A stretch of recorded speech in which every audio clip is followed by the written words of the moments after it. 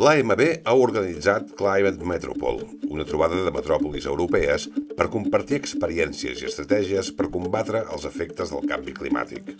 Jo crec que en canvi climàtic les ciutats han d'estar en primera línia, perquè segurament és qui reben en gran mesura aquests impactes i la seva ciutadania, les metròpolis doncs, encara amb major, amb major importància, i el que és important és que col·laborem, que podem establir aliances entre el sector públic, entre les administracions, amb un mateix objectiu, que és com mitiguem el canvi climàtic.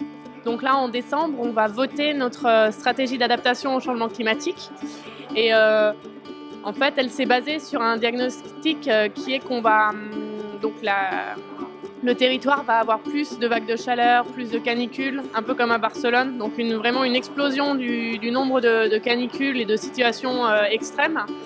Euh, et aussi un impact sur la ressource en eau. En fait, le changement climatique va beaucoup réduire l'apport de neige et le maintien de la neige dans les Alpes. Et notre eau à Lyon, elle provient de la fonte de la neige, surtout l'été.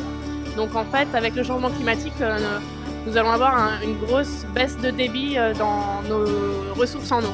The biggest challenge is the amount of water we have in Liverpool, potential flooding, the amount of rain uh, and, and great uh, changes in temperatures in the summer. Well, we're facing them by we have to make sure that our drainage systems are, are right. We have to uh, re, uh, improve the air quality. We have to reduce emissions. Uh, we have to do a lot of things to change people's behaviour. I personally uh, adapted my house so we have I have external insulation, which has uh, dramatically reduced the use of gas. So we've got to find a, a way of doing this with, with every home.